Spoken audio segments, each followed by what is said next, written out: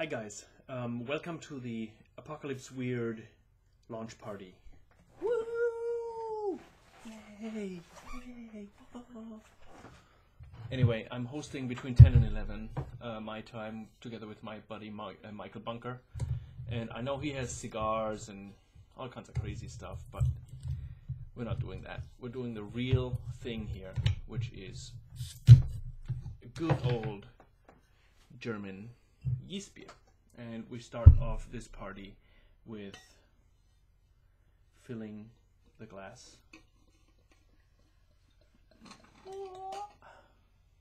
No apocalypse here.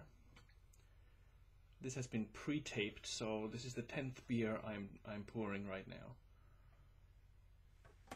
Anyway, we have a lot of prizes um, during the launch party, but mine are going to be two books. And I'm Stefan Bolz, by the way. I'm one of the writers of the Apocalypse. Uh, did I just say writers of the Apocalypse? Writers of the Apocalypse. Okay. Um, my prizes are going to be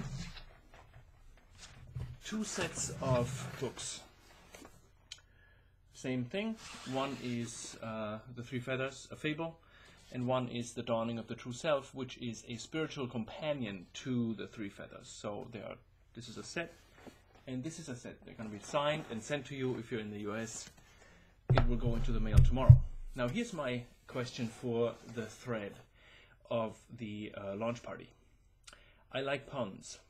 We all like the apocalypse. How about you come up with a punkalypse? Okay, this is puns that have to do with the apocalypse. I can't think of anything better.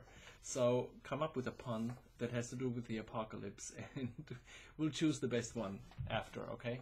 Cheers. See you soon.